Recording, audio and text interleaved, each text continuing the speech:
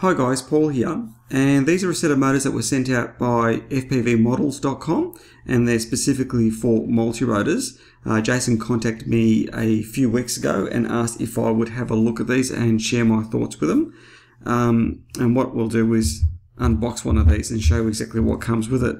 Now, interestingly, the other two items that Jason has sent out, one was the LED backlit FPV monitor, which was absolutely fantastic and um, also the Dragonfly motors that Thomas is running on his mini quad, which are still going um, really, really strong. So they've been great motors too. So I expect these won't be too far from that standard.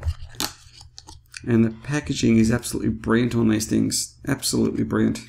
So these motors are a 1000 kV motor, and I'm going to be putting this on my 550 Alien Quad and we'll try them out shortly and see exactly how they go. But they feature CNC machining. Um, machining looks absolutely fantastic. The build quality is superb. There's no slack in the bearings whatsoever. Uh, definitely that soft silicon wire. So um, these are absolutely fantastic. Let's go through the rest of it. Uh, you've got your spinner. So if you're using standard type of prop, um, I may use this, I may go down a path of carbon props, I'm unsure. And you've also got uh, one of these. So um, if you're running the carbon props with the uh, two locators on them, um, you'll use this type of um, attachment for your uh, multi-rotor.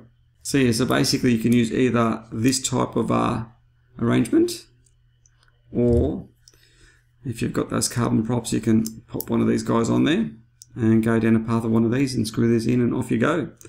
So it'll do both type of props. The build quality of the machining on this is really nice.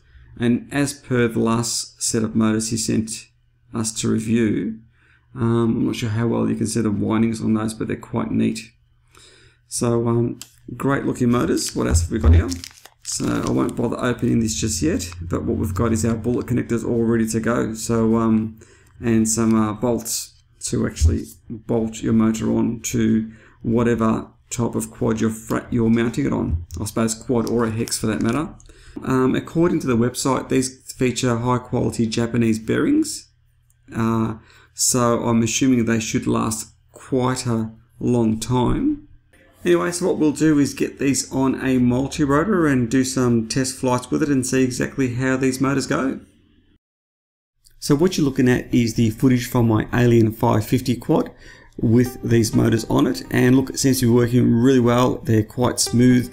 Um, if they're of the same quality as the Dragonfly motors that we tried on the mini quads I don't think there's going to be an issue at all with these motors. Um, very very smooth high quality high quality cabling all in all, I must say I'm pretty pleased with these. Anyway, thanks for taking time to watch this video and I will catch you guys later.